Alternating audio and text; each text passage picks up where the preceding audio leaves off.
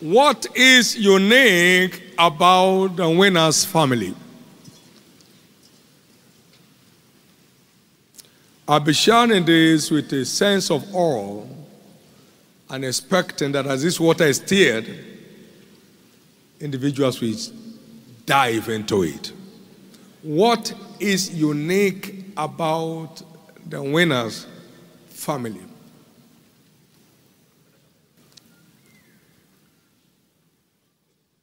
We use an anchor scripture from Genesis 28 and verse 16. And Jacob awaked out of his sleep. And he said, Surely the Lord is in this place, and I knew it not. Verse 17, he was afraid and said, How dreadful is this place! This is none other but the house of God, and this is the gate of heaven.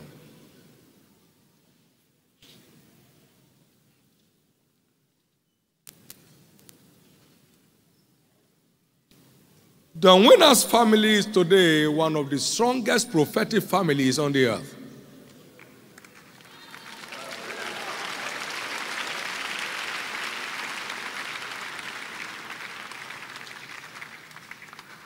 So the winner's family is a highly prophetic family.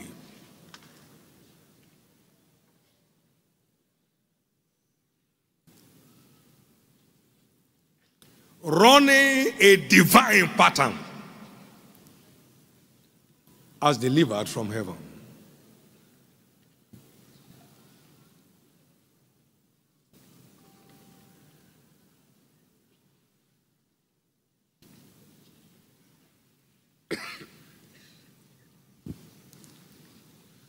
As God privileged laborer in this vineyard, I've seen God open new chapters to this commission, one after the other, without mincing words. This commission is ordained by its original mandate to liberate the world from all oppressions of the devil through the preaching of the, of the word of faith. And he said, I'm sending you to undertake this task. So he sent me as his undertaker. And the mandate is clear to get the devil off the back of everyone. So every mark of the devil on anyone in this house must clear off tonight.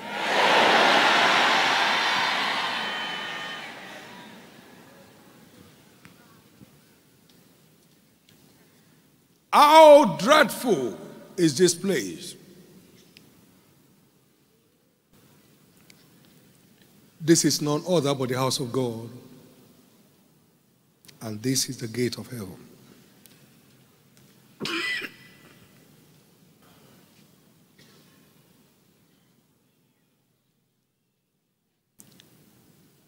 but a prophetic family will not mean anything except with your faith on the line. A prophetic family will not deliver any value except with your faith. Whosoever receives a prophet in the name of a prophet, he shall receive a prophet's reward. Matthew chapter 10. Quiet! Officials move out to that place and get out any devil from the place.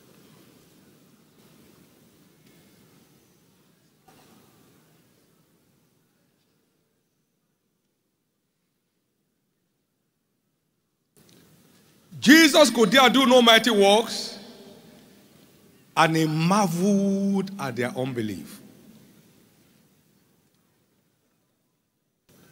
No matter the prophetic strength of a setting, it takes faith to draw value out of it.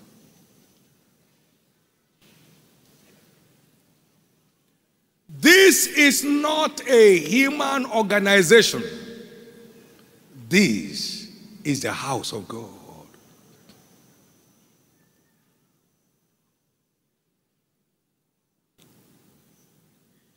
We are just running a prophetic agenda.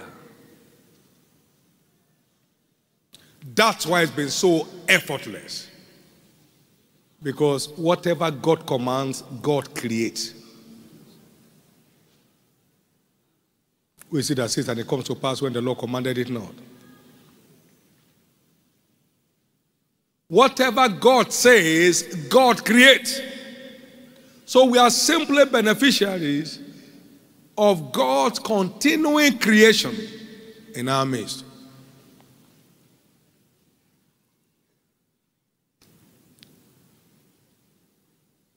And I want you to follow so as to make the most of this God given opportunity to be in this family that is fulfilling a prophetic agenda.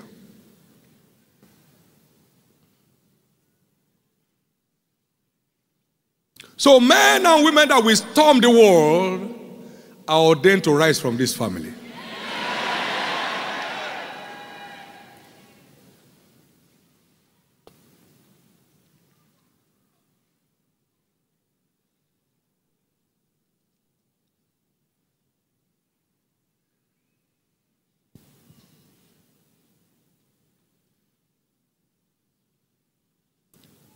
This commission began in Kwara State as directed by the Lord. And at the point I began to feel a pull to Kaduna. We were having the church ministry going, and I saw that God's presence was always very thick than where we were at our various at our fellowship center. And I said, God, what's happening? So my wife and I began to pray that morning, and the Lord said, Stand up. And I did. Take your Bible, and I took. I took it, and I believe he opened it because I didn't flip through any scriptures. And it was direct question we were asking. And I said, Lord, what shall I do? And the Lord said, Arise and get down to Damascus. Acts chapter 22, verse 10. And there shall be told thee all things which are appointed for thee to do. So I tapped her and I said, Prayer is over. God has answered. On our way to Damascus, a city of persecution. Praise God. One day I was moving to the altar during our Easter convention, April 28, 1987, and I heard them say, It is time to spread out. And so the first five churches were planted. And so how God planted 5,000 churches this year. Come on, give the Lord praise. Every new chapter here opens up prophetically by the hand of God. I was in the bedroom when I heard, Arise, get down to Lagos and raise me a people. It was so consistent, so irresistible, so compelling that same day I had to dispatch someone down here to Lagos. And that's how we came to invade the city of Lagos. By the word of the Lord. Whatever word you hear from here are spoken under this prophetic anointing is yours for delivery if you are interested. Therefore, breaking limits will become a reality in your life. breaking limits will become a reality in your life. At Shiloh 2019, you shall be empowered into realms of breaking limits. You shall be baptized into realms of breaking limits. In the name of Jesus there shall be no mountain that will stand before you anymore in your life. Every satanic barrier will be cleared in the way for you. In the name of Jesus. And so, he brought us into Lagos. I was on my way from Zaria, tired, hungry, having ministered. And suddenly, while in the car, the Lord said to me, The harvest of Africa is not over, right? Rush in and preserve it from decadence. Now, These were not outcomes of council meetings. They were just prophetic agenda being unveiled. And so Africa got invaded. This is a highly prophetic service, a platform. Endeavor to treasure every prophetic word that comes in your direction. Whatever God declares, God delivers. Where faith is in place. For blessed is he that believeth, for there shall be performance of those things who are told out from the Lord. From the Lord. From the Lord. Whatever God can do, faith will make happen. Therefore, no prophetic word will be wasted in your life anymore.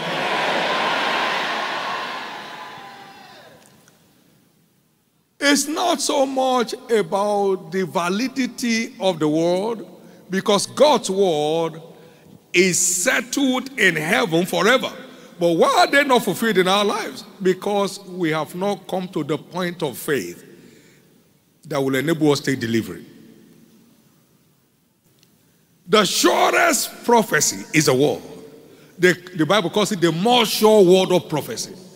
So it's not about, am I sure that is the truth? Okay, the truth of the truth, why is it not happening in your life?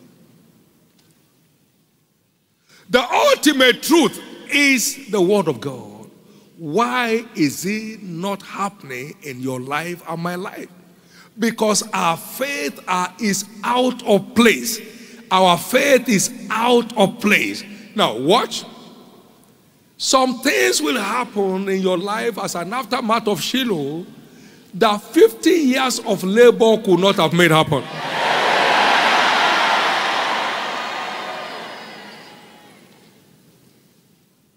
Because the limit breaking grace will be coming heavy upon your life. You will know it, and all the people around you will know it. Let me hear your loudest amen. Let me hear your loudest amen.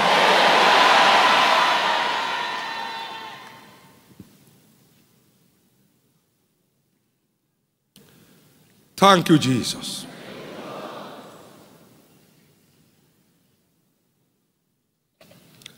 Suddenly, May 2nd, 2015, the Almighty God came calling. We just had our Liberation Day service, and I was before the Lord. I didn't know, but there, there was such a presence around me. I couldn't lie down, I couldn't lay down, I couldn't sleep. I, and about evening time, I, the God of Wonder Double, is visiting you. May 2nd, 2015 that turned the fortune of our church forever. Can I hear your amen? amen? The impossible took place by that visitation. Please understand that all these things were not drawn from council meetings or committee meetings. They were the unveiling of divine agenda. They were prophetic unveilings of divine agenda and they deliver as declared. Therefore, every word that comes in your direction from this night onward shall be delivered with speed. Shall be delivered with speed. They shall be delivered with speed. Now, the good news here tonight is you are not permitted to be tormented by any devil under this commission. I said, You are not permitted. Say, I'm not permitted to be tormented by any devil under this commission. I am not permitted. You know, by a prophet, the Lord brought Israel out of Egypt, and by a prophet was he preserved. Tonight, every captivity of Egypt holding anyone bound, I decree your liberty from them. You believe that? Let me hear your loudest amen. You believe that? Let me hear your loudest amen. We have never seen it, but we saw it this year because God said it. Who is it that says and it comes to pass when the Lord has not commanded it? He said, You plant 5,000 churches this year. I said, 5,000 churches? How? Where would the manpower come from? How do we get them? How can we mobilize that logistically? How do we prepare for it? He did it. Within five months, he completed it. Now, the good news is whatever God says concerning you for the year 2019 will not cross over to 2020. It will not cross over to 2020. It will not cross over to 2020.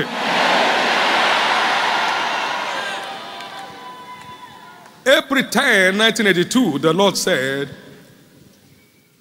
At the base of this ministry, we'll build a tabernacle that will seat 50,000 people. 1982, the largest conference, maybe 1,000 people. And you will say the whole world came. The whole world came. 1982, 1982, who dash monkey banana?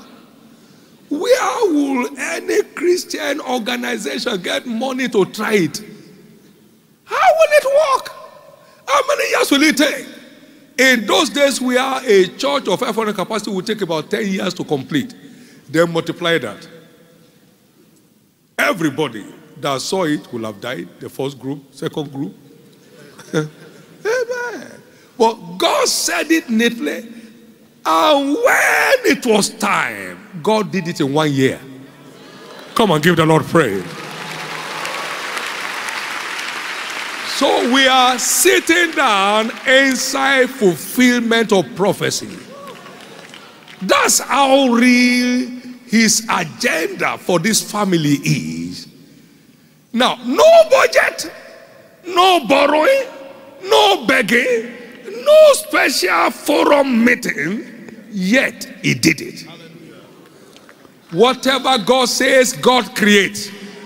So, whatever He has spoken concerning you, he won't struggle to make it happen. You believe it, He will create it.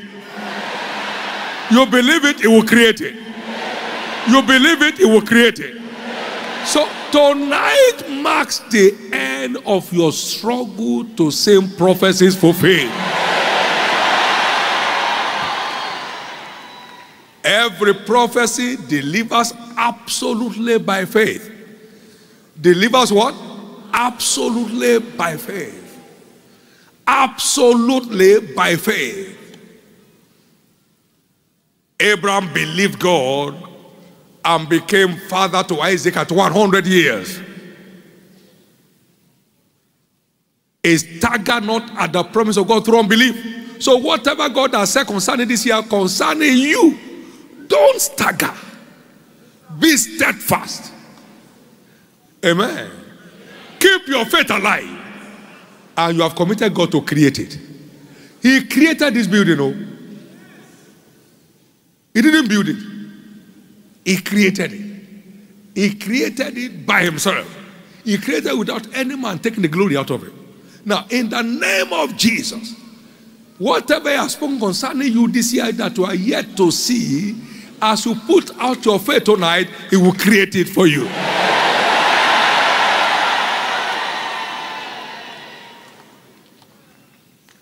Your marital restoration will be created. Your business and career restoration will be created. Your dominion over all devils will be created. And in the name of Jesus Christ, tonight will mark the end of your struggling for survival. Let me hear your loudest amen. That's where you are stepping into. Every new phase in this commission has always been passed down through his apostle till date. And I can tell you, you are in for the best of time. Secondly, I'd like you to also know that behind the growth and expansion of this church, of this church is Jesus. I will build my church, and the gates of hell shall not prevail against it. You'll find any church growing. Jesus is simply proving that is my church. I am the one behind the scene. I'm the one growing that church. Please note, not one of us must try to share the glory. It's a risk. Don't share the glory of the growth of this church, no matter where you are. If Paul plants and Apollo waters, it is the Lord that gave the increase. So every increase is the finger of God at work. First Corinthians 3 6.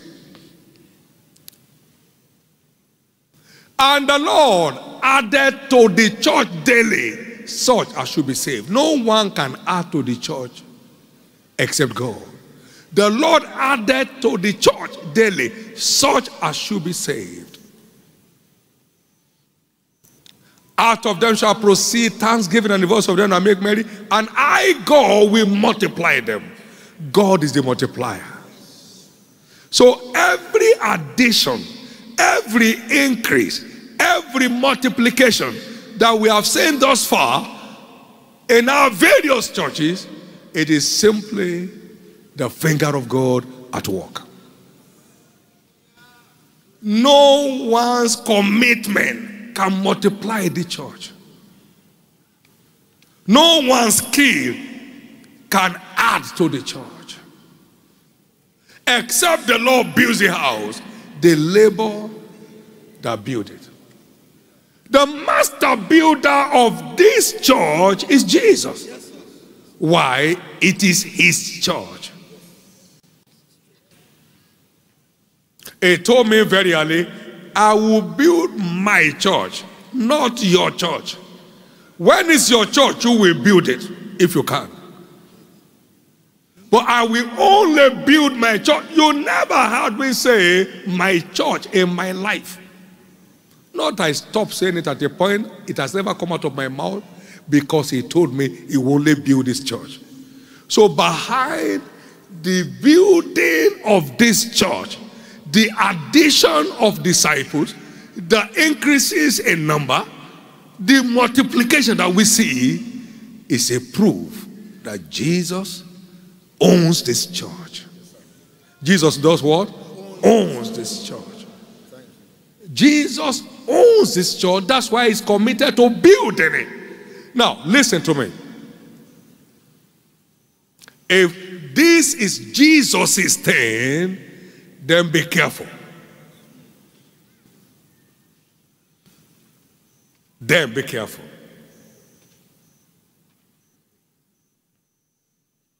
Then be careful. And know how to behave yourself in the house of God. Be careful. This is not a club. This is the church of Christ. Be careful in your service units. Be careful in your fellowship meetings. Be careful in your zone. Be careful. Be, be careful. This is Jesus' thing. Be careful. It's a hard thing to kick against the pricks. Be careful.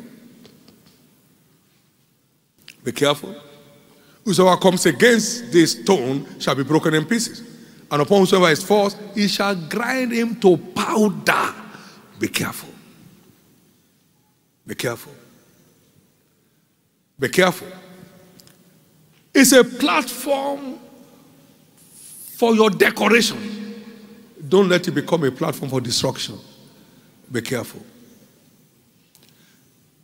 You know the good news? Men and women are ordained to rise from this platform the kind the world has never seen before. It has started. The kind the world has never seen before.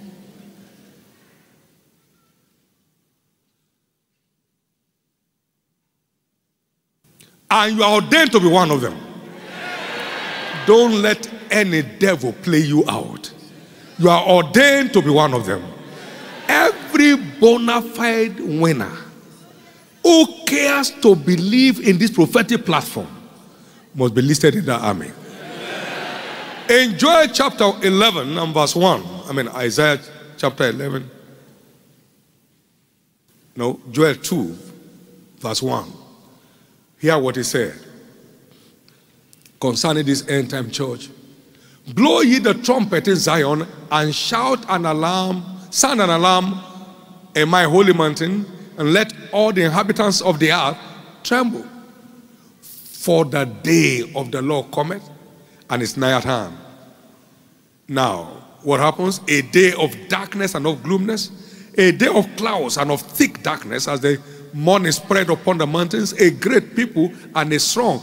There hath not been ever the like, neither there shall be any more after it until the years of many generations. That's what made it an end time army. They have never been their kind, neither would there be any like them until the years of many generations. A fire devoured before them, and behind them a flame burned. The land before them is like the Garden of Eden, and behind them a desolate wilderness. What is separation? Now, he said in verse 3 or verse 4, let's go to verse 4. The appearance of them is as the appearance of horses. And as horsemen, so shall they run. As the noise of chariots on the tops of mountains, so shall they leap.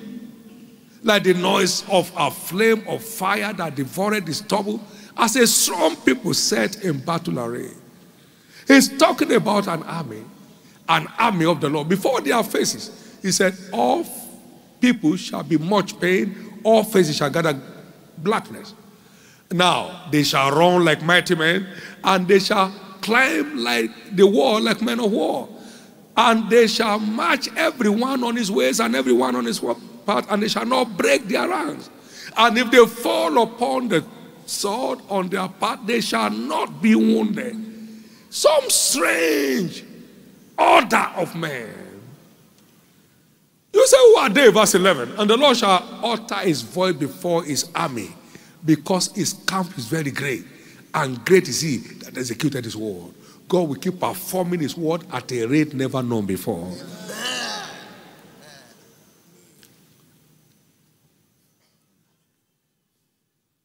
God told me we are major players in this agenda. This assembly, this congregation, this commission is ordained to be a major player in this end time army. What that means is this things that eyes have not seen, nor ears heard, will become the order of the day in the life of many winners. Let me hear your loudest amen. Let me hear your believing amen. You see, the prophetic word you receive and believe is the one you are empowered to become. You don't receive and believe it, you can't experience it. Receive and believe, and it's your turn to experience. One of my long-time friend was at Covenant University matriculation today for her last uh, bones uh, matriculation. And he said, I met this man 41 years ago. We got together 41 years ago. And according to him, the things I was saying, they are not things that many of them were thinking about yet. So he wasn't surprised that things are happening. He said, if I have 12 children, all of them will come to this university. You better receive and believe it. When I saw that God was going to stir up jealousy by his acts among his people, I received it. I believed it 1977. He said they found what was written of him. Everything in the book is written of whosoever believes. Everything. Please don't close your destiny. No. The land before them is like the Garden of Eden, and behind them a desolate wilderness, and yet nothing shall escape them. That is express dominion, unchallengeable dominion, ever breaking for dominion. That's your portion from now.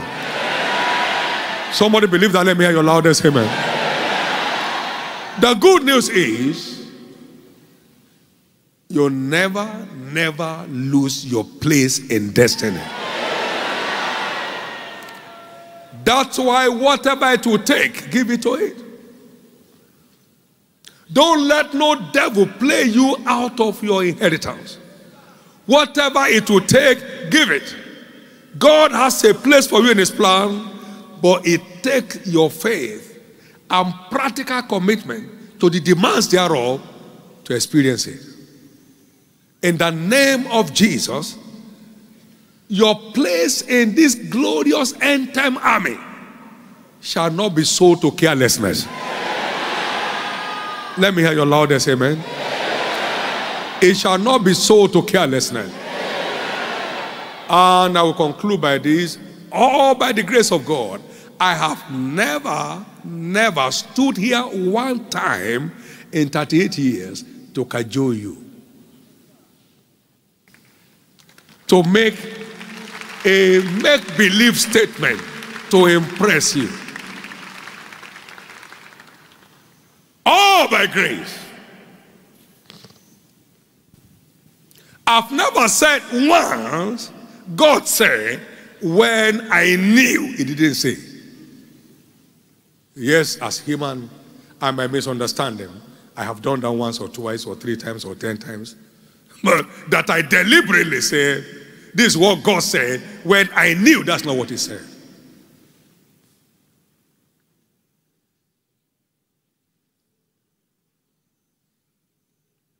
You know why God is still here? This is not a lying altar. This is not a lying altar. He said, He that walketh deceit shall not dwell in my house. He that telleth lies shall not tarry in my presence. I, I can't cope with liars. That's what he's saying. Psalm 101 and verse 7. Not once have I said one thing to bamboozle anybody in my life. And I've not spoken for any man. That somebody come, please help me say this. I'm not one of the prophets that can be hired. No.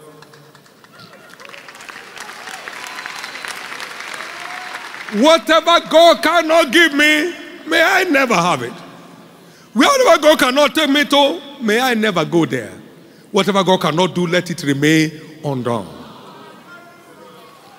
I must tell you this, God's people.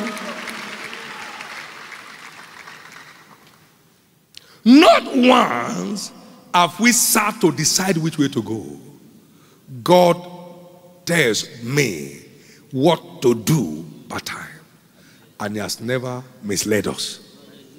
Come on, give the Lord praise. Leadership of the greatest corporation cannot compare with leadership in the smallest church. You just must line with his agenda or he turns his back on you. You just must line with his agenda or he turns his back on you. No anointing is a substitute for his instruction. We have followed his instruction till date and he has not stopped decorating us. The good news is as you line up with his plan and purpose as laid out in his word, and under this prophetic anointing, you'll never miss your steps in life. Give the Lord the biggest clap offering.